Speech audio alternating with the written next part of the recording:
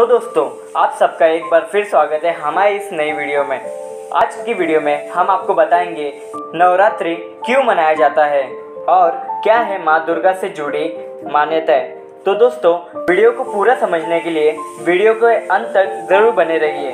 दोस्तों, एक बार की बात है, जब महिषासुर नामक दानव एक जंगल में ब्रह्मा जी के लिए कड़ी तपस्या कर रहा था, दिन महावर्ष बीत गए। महिषासुर अपनी कड़ी तपस्या में मगन रहा।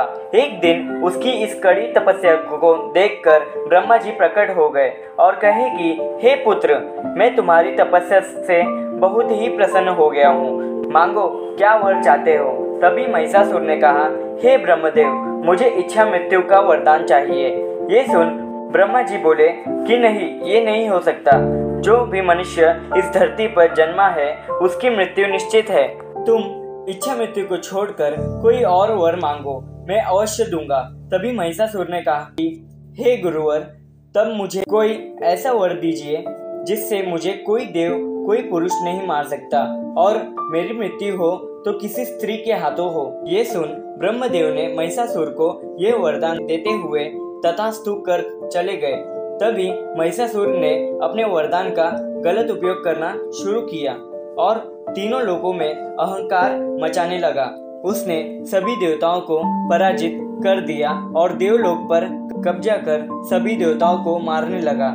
सभी देवता भयभीत हो गए और ब्रह्मा जी, महादेव और भगवान विष्णु के पास जा पहुँचे और उनसे सहायता मांगने लगे। तभी ब्रह्मदेव ने इसका उपाय बताते हुए कहा कि महिषासुर को यह वरदान है कि ना तो उसे कोई देव मार सकता है और ना ही कोई मनुष्य। इसका उपाय बताते हुए कहा कि महिषासुर को यह वरदान है कि ना तो उसे कोई देव मार सकता है और ना कोई मनुष्य। महिषासुर का वध किसी कुंवारी कन्या के हाथों से ही हो सकता है। ब्रह्मा जी की ये बात सुन सभी देवताओं ने मिलकर एक जगह अपने तेजस को केंद्रित कर एक कन्या का निर्माण किया, जिसे देवी दुर्गा नाम दिया गया। फिर माँ दुर्गा ने त्रिदेव का आशीर्वाद लेकर महिषासुर को ललकारा और महिषासुर माँ दुर्गा पर मोहित हो गया और माँ दुर्गा से विवाह करने का प्रस्ताव उनके सामने रखा। तभी माँ दुर्गा ने महिषासुर का यह प्रस्ताव स्वीकार किया। परंतु माँ दुर्गा ने एक शर्त रखी कि विवाह से पहले तुम्हें मेरे साथ युद्ध करना होगा। तभी महिषासुर युद्ध के लिए तैयार हो गया और दोनों में युद्ध शुरू हुआ।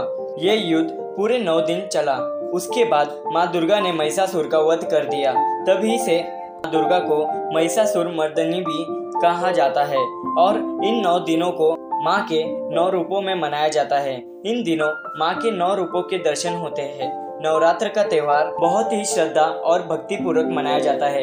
कहीं नौ दिन गरबा, कर माँ की पूजा होती है तो कहीं गृह में गढ़ स्थापना करके उसकी पूजा पाठ कर नौ दिन माँ के नौ रूपों का स्मरण किया जाता है। कुछ लोग नवरात्र में नौ दिन के लिए अन्न का त्याग कर माँ का उपवास करते हैं तो कहीं कुछ लोग पहले और अंतिम दिन का उपवास रखते हैं और माँ की पूजा अर्चना कर जीवन का मोक्ष प्राप्त करते हैं।